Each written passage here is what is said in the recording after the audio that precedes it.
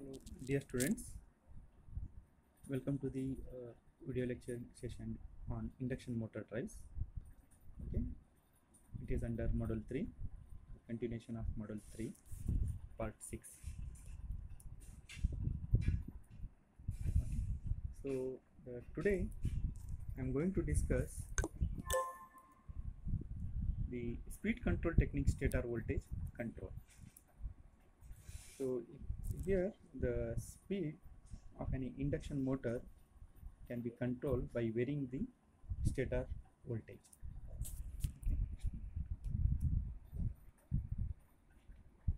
By reducing stator voltage control of induction motor, speed of a high slip induction motor can be reduced by any amount which is sufficient for the speed control of some fan and pump drives. Okay. So I will discuss here that why it is uh, only suitable for uh, fan and pump drives. Okay, let us uh, analyze the speed torque characteristics plotted here of an induction motor.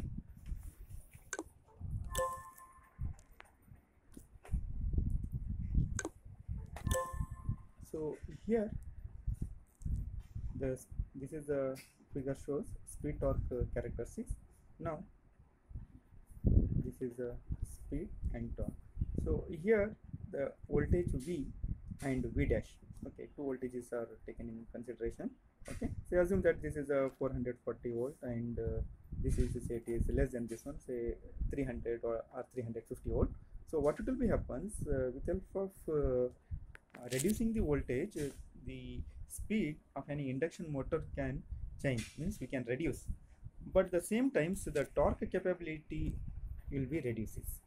Okay, torque capability will be reduces.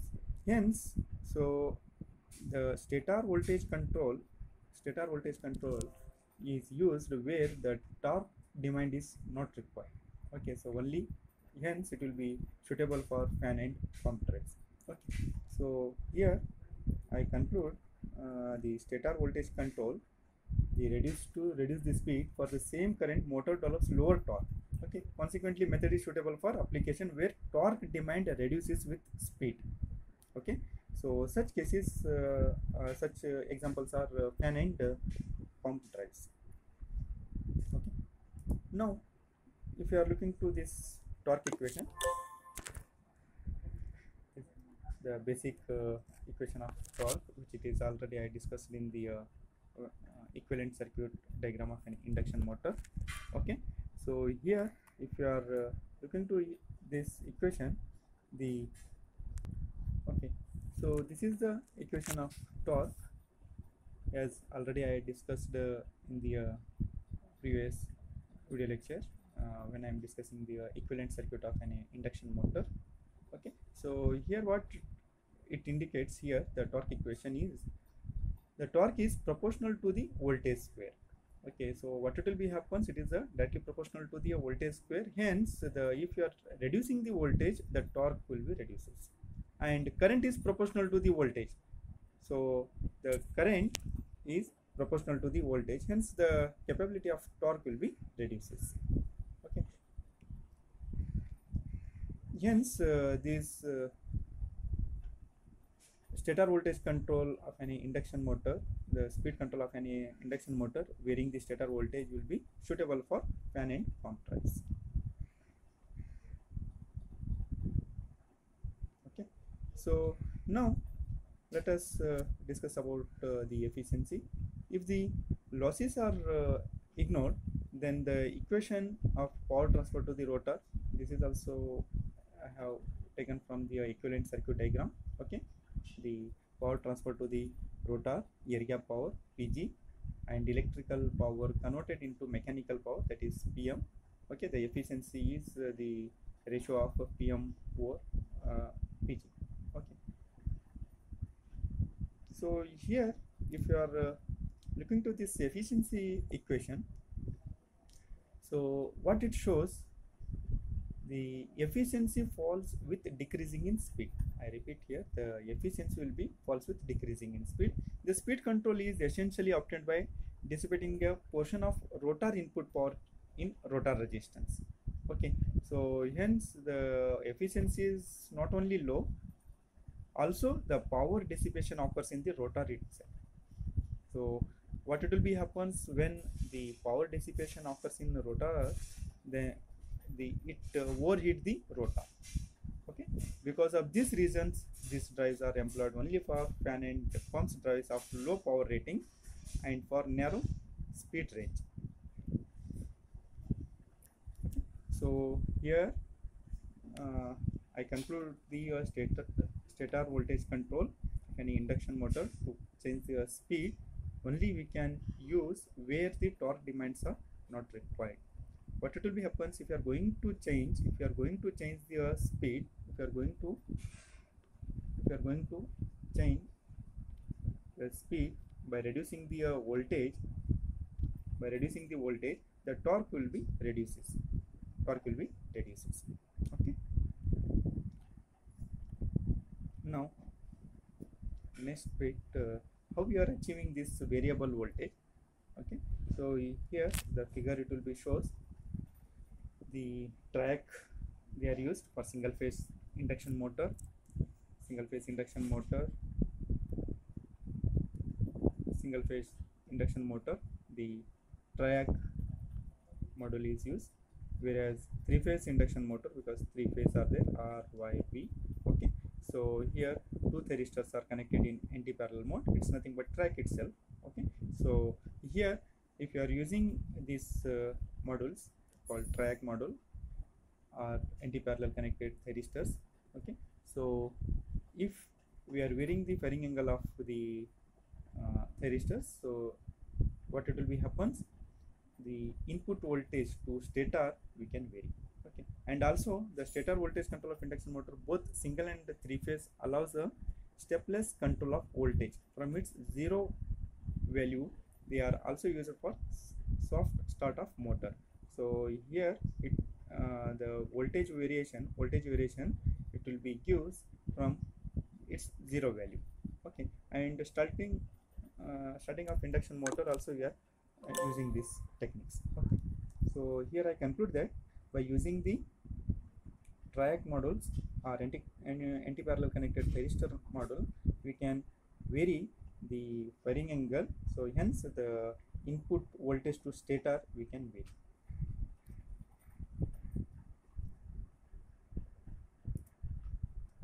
so next bit of uh, discussion is uh, the variable frequency control of induction motor types. okay so let us uh, have a glance at what is the variable frequency control of induction motor drive so here this uh, speed of any induction motor can be controlled by varying the supply frequency okay. so voltage induced in a stator is proportional to the product of supply frequency and air gap flux. Okay. I repeat, the speed can be controlled by varying the supply frequency. So here the voltage induced in stator is proportional to the product of supply frequency and air gap flux. Okay. So if we are, we are neglecting the uh, then terminal voltage can be considered proportional to the product of frequency and flux.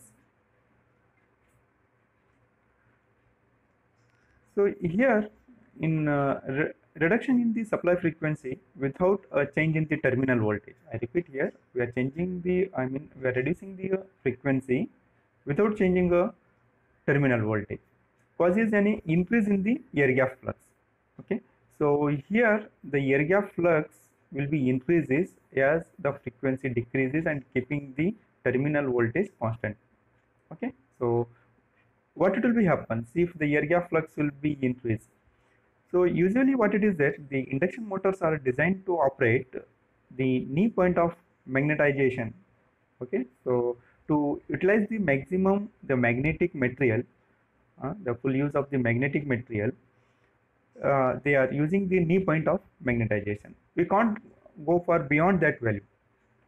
I repeat here, the air gap flux is what it is there. We can't go for beyond that one. So what it will be happens if therefore the increase in flux will saturate the motor. Okay? So here this will increase the magnetizing current distort the line current and voltage increase the core loss and stator copper loss and produce a high pitch acoustic noise. Okay? So here i conclude if we are reducing the uh, frequency okay keeping the uh, terminal voltage constant means we are not varying the terminal voltage we are varying the frequency varying in sense here we are decreasing the frequency. What it will be happens? So the air gap flux also increases. Here we can't go for the uh, beyond the air gap flux because already the machine is designed for knee point of magnet magnetization. If you are going above this uh, air gap flux uh, the saturate the motor okay? Flux will saturate the motor.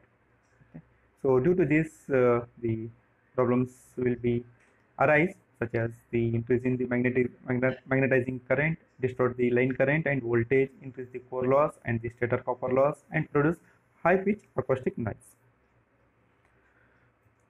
Okay. So here as already i have discussed so the flux beyond the rated value is undesirable hmm, from the consideration of saturation effect so we can't go for the uh, beyond the rated value beyond the rated value of flux. Okay. So a decrease in flux is also avoided to retain the torque capability of the motor. In other hand what will be happens if a decreasing in flux will be avoided? Uh, also we should avoid. Otherwise what it will be happens? The torque capability of the motor will be reduces. Okay. Hence what we are doing here the variable frequency control of induction motor drive below the rated frequency is generally generally carried out at rated air gap flux by varying the terminal voltage with frequency so as to maintain V by F ratio constant.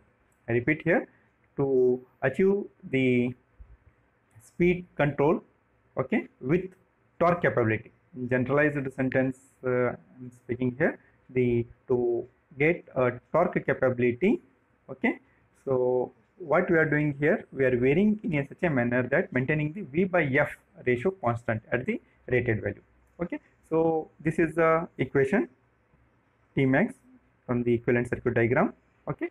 So now the equation will be modified here. Okay?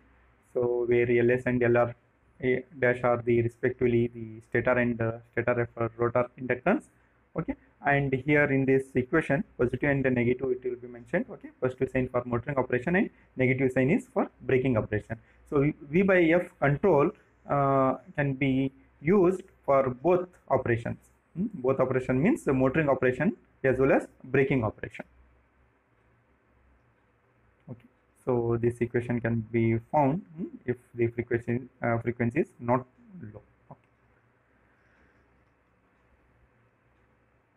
So now the how we are uh, obtaining the v by f varying the uh, v by f and how we are achieving the speed control i'm going to discuss now. So this is one characteristics is plotted here variable frequency control okay? One is first okay? First one is uh, figure a voltage and frequency relation. Voltage and frequency relation so what we are doing here okay so what you are doing here this is our base frequency base frequency the at till base frequency at till base frequency we are varying the voltage voltage okay and frequency okay. i repeat here the at any base frequency we are varying the voltage and frequency. Okay. At above the above the base frequency above the wave frequency at any base frequency we can say in this okay. So what we are doing we are keeping the we are keeping the voltage constant voltage constant voltage constant and we are varying the frequency. Once again i will show you. Okay. So below base just a minute. Below base or up to the uh, base frequency we can say. The frequency and v, voltage v by f we are varying. This is the first point hmm? please note it. And the second important point is above the base frequency above the base frequency the voltage is kept constant. And then if you are looking to this the voltage is kept constant and frequency is varied. Okay? I hope this is the b voltage and frequency relation now this figure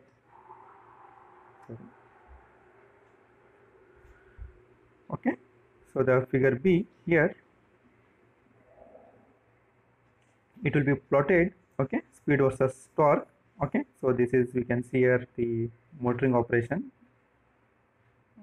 okay so negative torque is nothing but uh, the braking operation we can say okay so here if you are looking to this from the 0 to the uh, synchronous speed means the base speed we can say the maximum speed okay omega ms okay. So here if you are look observing the torque in both motoring and braking the maximum torque you are getting. For an example see here the 100 rpm in this 200 rpm 3 400 so in all the range from the 0 to the maximum speed the what it is speed you can say so till that till that we will get the torque will be maximum both. I repeat here that torque maximum positive side means motoring we can consider and this is for braking okay?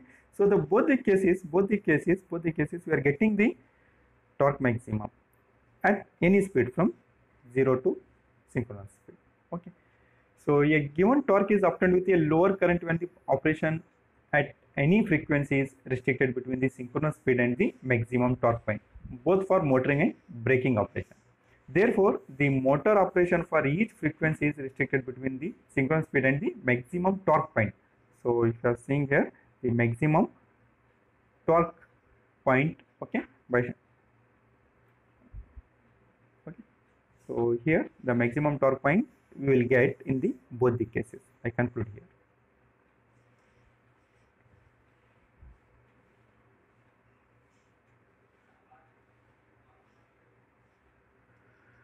okay so here uh, we will list out the which are the features by V by F uh, method. So the variable frequency control of induction motor drive provides good running and transient performance because of the following features. Okay.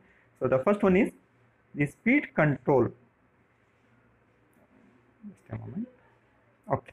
So the first one is speed control and braking operation are available from zero speed to above base speed as already I have discussed.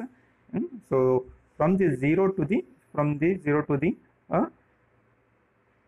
synchronous speed above base speed we can say so we will get we will get the braking operation are available. Okay? So it's better I will go and I will show you the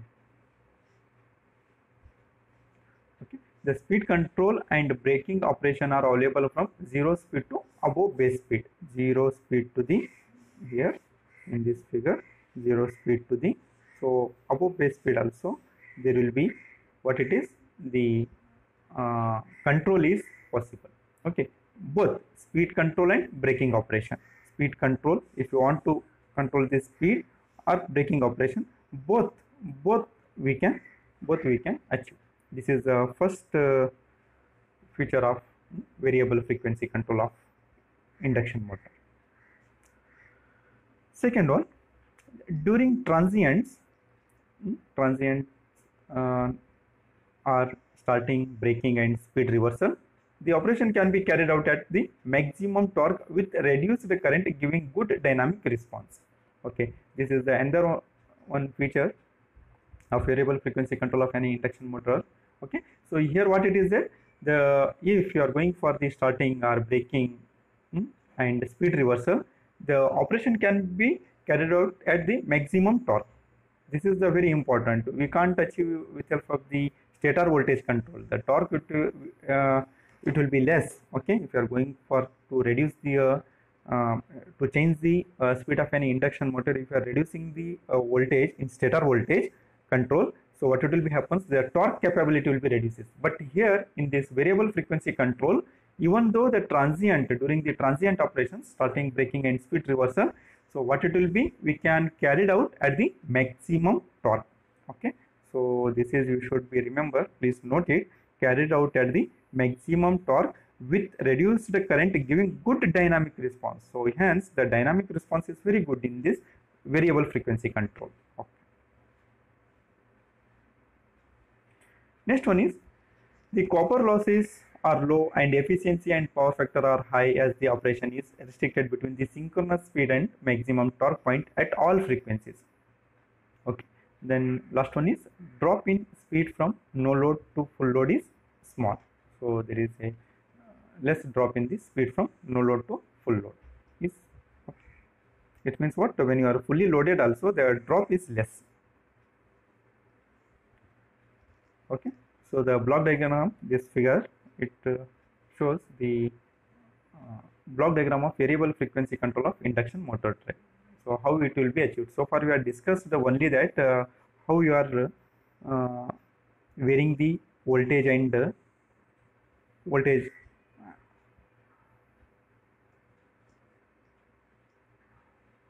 So far I discussed about the voltage and frequency variations okay. So in this uh, flux control we are discussed right. So now this we are applying to a one induction motor okay. So here this is uh, vf vs okay. So vf vs is nothing but variable frequency variable voltage source. I repeat here variable frequency variable variable voltage source. Variable voltage source. Variable frequency variable voltage source. Okay so here the motor is fed from a variable frequency variable voltage source. The supply is given to the this one. Hmm? and this is our induction motor. Okay. so now the here here the v star and f star. Okay so this and this voltage and frequency command for vf vs so these are the uh, command for voltage uh, variable frequency variable voltage source. This it will be command for these two. Okay how we are got from this means we are taking from this flux control. So this is the very important point. Please note it. Flux control block i put here once again figure here. Okay. So its uh, function is here. Its function is here. Already i have discussed. Okay. So the till the uh, base frequency till the base frequency voltage and frequency are varied.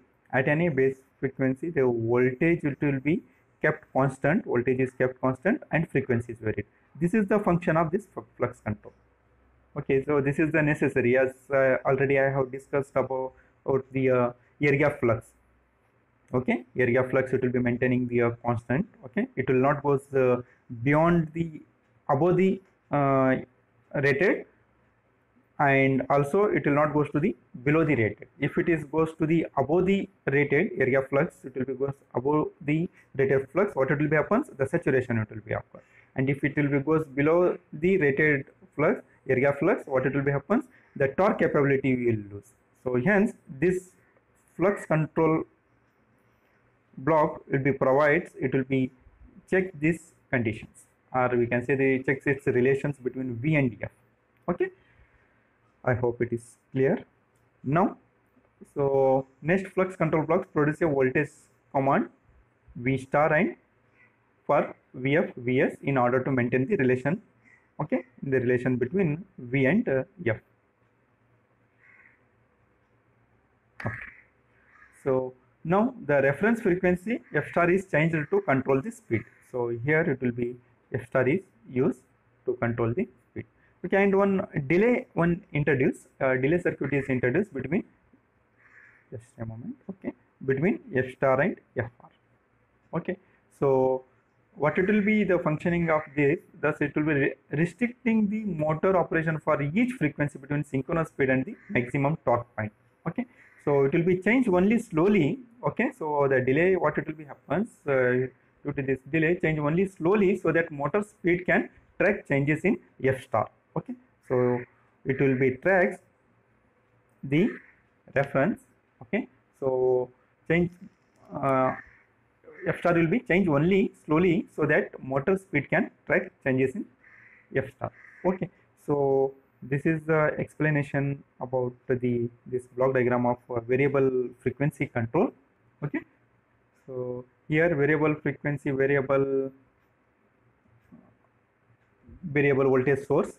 Okay vf uh, vs hmm, can be voltage source inverter or cycloconverter. Okay i repeat here this vf vs are inverter or cycloconverter okay all these explanations are here. Okay. So now okay this is the last slide. Okay.